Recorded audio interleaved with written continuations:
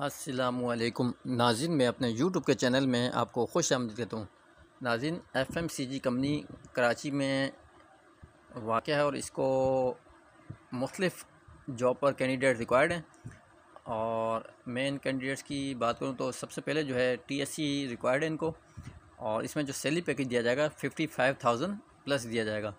इसके बाद जो सेकंड जॉब है वो टी एस ओ की है और इसका जो सैलरी पैकेज है फोर्टी फाइव थाउज़ेंड प्लस दिया जाएगा। और नंबर थर्ड पे जो जॉब्स है, वो ऑर्डर बुकर्स की जॉब है।